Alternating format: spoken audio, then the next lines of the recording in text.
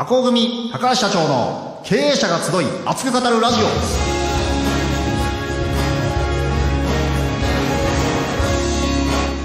この番組は他社貢献をモットーに地元大分に貢献和光組の提供でお送りします。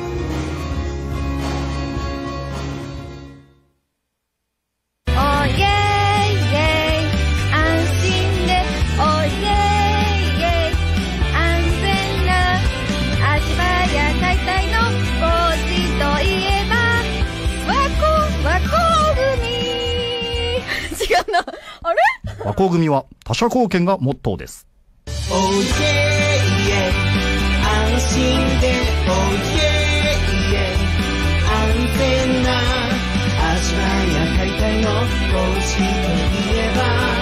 和光組。和光組は他者貢献がモットーです。今日も爽やかな朝ですねリスナーの皆様和光組社長高橋貴弘38歳大型のダンディーなおじさんです。そしてプリティなアシスタント MC 下村かほです。自分で言っちゃった。シモネーターさん。あの冬になると乾燥肌で体が痒くなるんですけどおすすめの対策とかないですか？ないです。ないのかよ。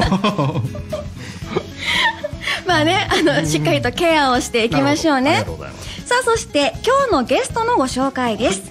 柳ヶ浦高校サッカー部のコーチであります山本隼人さんですよろしくお願いしますよろしくお願いします。では改めて自己紹介お願いしますはい、えー、柳原高等学校で、えー、地歴の、えー、教師をしながらサッカー部コーチをしてます。山本隼人と申します。よろしくお願いします。なんかいろいろと聞きたいことがあるんですけどもまず教科が何ですか？えっ、と、地理歴史ですね。えー、はい。歴史で地歴はい。略したんですね。今なんて言ったんだろうねそうそう。そう30代以上はちょっとね あのなんだろうと思っちゃうからはい。でまあその部活はサッカー部のコーチをしてるんですね、はい。でそのまあ教師になってまだまだ浅いですか？それとも結構経ってます？えっと、大学卒業してすぐに赴任したので、3年目になります。はい。3年目。3年目。ねえどうですか？学校の先生ってえっと、仕事量がちょっと膨大で、パンクしそうな時もあるんですけど、ん。でもやっぱりこう、やりがいはすごくあります。ああなるほど、まあ、早速なんですけど、まあ、ちょっと巷で噂なんですが、はい。SNS がどうやらポエマーと 聞いているんですけども いかがでしょう？いやそこは意識してはないですけど、んうんまああのーまあ、なるべくこう、まあ、響くようなじゃないですけど、はい。心に働きかけるはいそうですね。そう響きがある。えーどんな感じなんですか？聞きたい。どんな感じですか、えーっと春風の音が。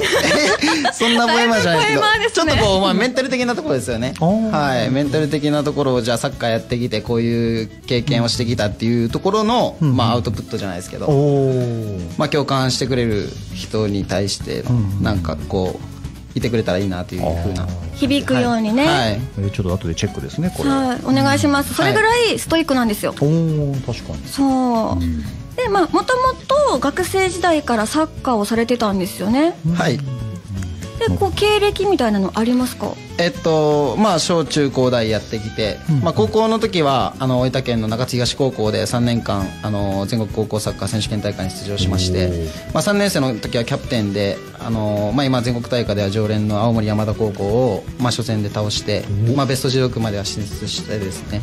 大学は九州産業大学にしあの行きまして、はい。はい、そこでも4年間やっていました、はい、すごいですね。すごいですよね。ちょっと聞いてもいいですか？はい。必殺シュートとかってあるんですか？そんな技があるの？翼くんのドライブシュートです。え打てるんですか？はい。やば見たい。ねえ見たいですよね。はい。あとやっぱあれなんですかね？女子生徒とかにモテたりとかしないんですか？えっとまああまり大きい声では言えないんですけど、うんうん。まあモテますね。わ！ずいぶん大きい声だったよ。えラブレターとかもらったりとか？いやラブレターはないんですけど、でもまあ手紙はもらったことはあります。えすごい、はい。どうするんですか？あのいや手紙はもらってしっかり保管してます、えーはい。優しい。これやっぱり落ち込んだ時とかはまあ見直し、見返して、うんああこういうふうに応援してくれてる生徒もいるなっていう。はい。重たい系男子ね。そうそう。出ますねやっぱ。あでもねやっぱかっこいいんですよ。いやいやいやいや。ねえ爽やかですし。うん。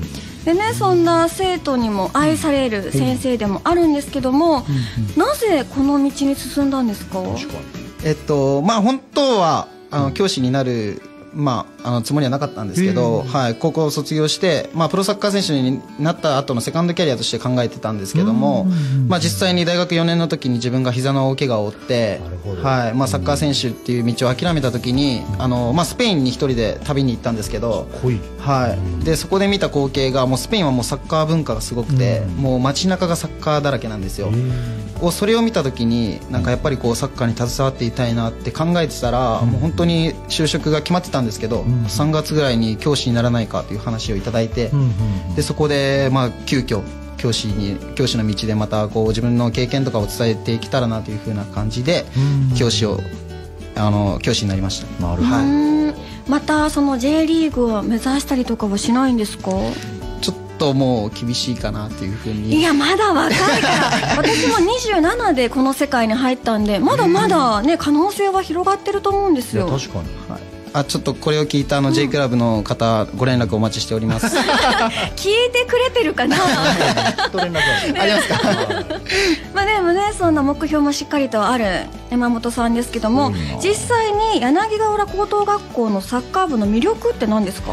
えっとあの私たちは他とは違うところで言いますとちょっと生徒主体なところのクラブを目指しています。例えば今あのサッカー部の公式インスタグラムだったり、ツイッターというところがあるんですけどもそれを全て生徒が運用したりだとか、はい、サッカー部でこういったことをやりたいねというふうに企画することもあのせ生徒が考えたりだとかそこで言うとあの、まあ、先日宇佐市のゴミ拾い活動をサッカー部で行ったんですけどもそれも生徒が企画して生徒が運用しながらやったので。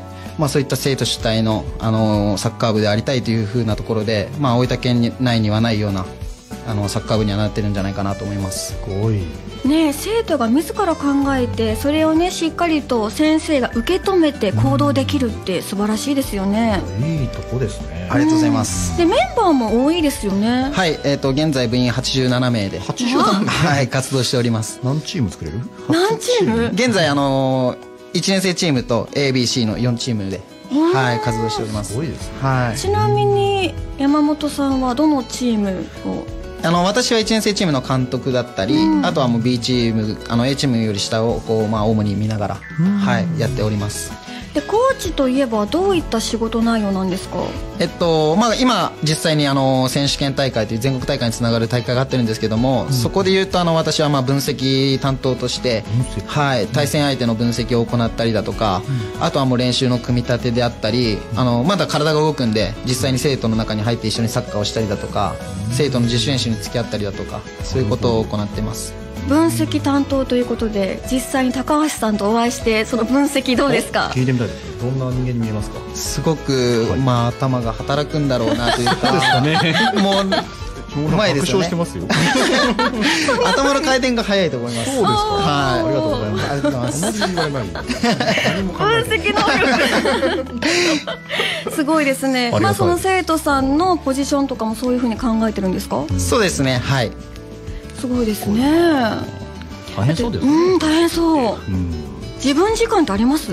いや、あまりないですね。もう帰って、次の日の授業の準備をしたりだとかもしなきゃいけないので、やっぱりこの仕事中以外のところっていうのは、結構またいろんなことを考えないといけない時間が多いです。そうだ聞いたかったんですけどはい。彼女いるんですか？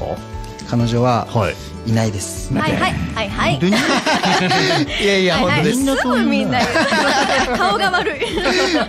でも、その時間を割くっていうのがねなかなか厳しいね、ポジションでもありますから、あそうお仕事にストイックな男性なんですよ。そうなんですよ彼女さんも。怒りそうですよねそういう職業だと。そうですね。またサはい。ッカーしてんの？つってまあでも理解してくれる人をゲットすれば、ねこれからもしっかりと幅は、うん。はい。募集しております。募集しております。いろいろ募集しますね。まあ募集といえばスポンサーも募集していますので。はい。そうなんですはい。えー言ってくれればいいのにあ、もうぜひよろしくお願いします。はい。ぜひ検討させていただいて それはラジオ終わってからお願いしますね。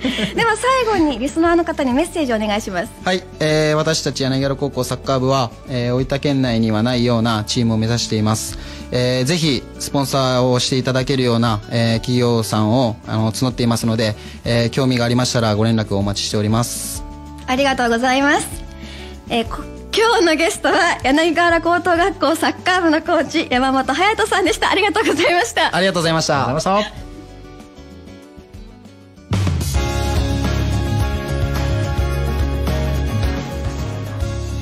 たエンディングの時間です。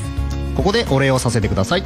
11月27日土曜日に臼杵市サプライズミニ花火大会を行います。支援協賛金のご協力をしていただいた方たちをご紹介いたします有限会社武田プロパン代表取締役武田公則様。有限会社藤田石油代表取締役藤田豊和様。U ホームテック代表吉水優也様。恋マールチャンネルの恋マール様。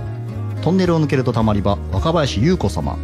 有限会社ノツモータース代表取締役藤原正康様。上野自動車代表上野翔太郎様。大分 B リングス応援女子 B ガールズ一同様。小野機構株式会社代表取締役工藤博様。そして臼杵市一般の方から村上中蔵様です。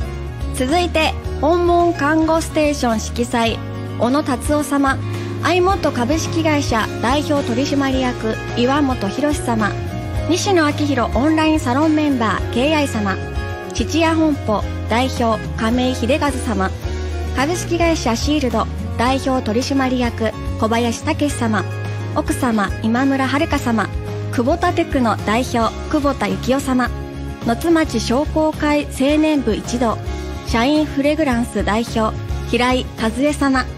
そして株式会社東九州石油野津町日向サービスステーション様ママのゆりかご代表花咲めぐみ様西野昭弘オンラインサロンメンバー内藤達夫様そして下村佳穂さんありがとうございます。心より感謝しております。すべての支援金を花火資金に使用させていただき最高の他者貢献とさせていただきます。さあここまでの相手は若い頃を思い出して山本さんにサッカーを教えてもらいたいですね。和光組社長高橋と。下村佳穂でお送りしました。それでは今日も最後まで聞いてくれた皆さんこの土曜日を人生を変える一日にしていきましょう。さあ皆さん今日もいってらっしゃい。実は3股してます。実は俺はごまたしてます。